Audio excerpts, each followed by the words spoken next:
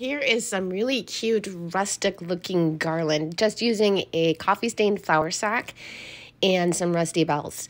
So I just took a coffee stained flour sack and then I just cut, they're about one inch strips. I just I just pulled, tore all the way down.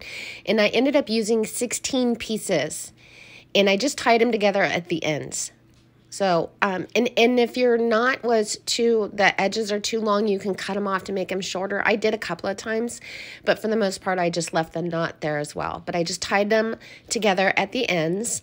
And then I just took um, some rusty bells with some twine and just tied them on. Just kind of randomly throughout the garland.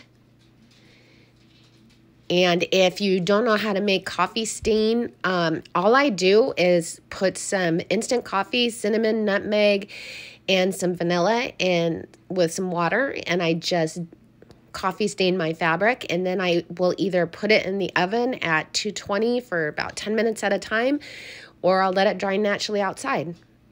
And I think this is so cute. I it turned out really cute. It's very easy, very plain, but it looks really cute on the tree.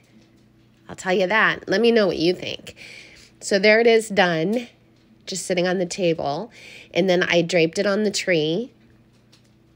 And I think it I think it's cute and it has a great smell.